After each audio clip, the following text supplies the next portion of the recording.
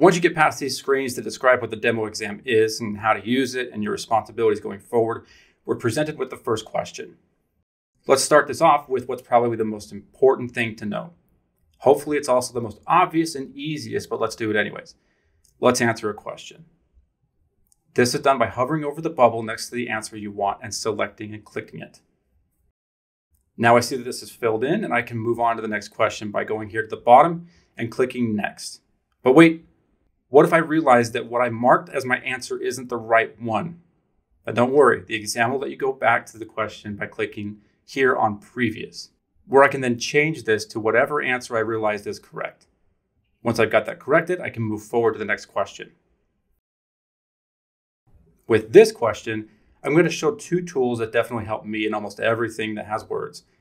Every paper on my desk has things highlighted and other things scribbled out. Sometimes I even have things that are highlighted and scribbled out. It's a bit of a mess, but for me, that's how it works. If you're the same as me, you should pay attention to these two at the top the highlight tool and the strike through tool. And let's say that this wording I find right here is just so important that it needs to be highlighted for my brain to process it.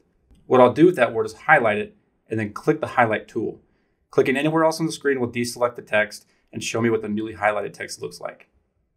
The same process is used for scribbling things out or striking them through.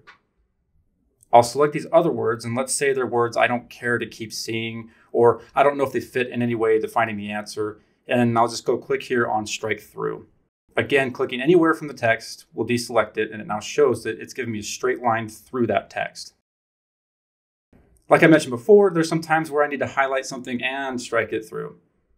In that case, I'll just select some text and click both the highlight and strike through tools.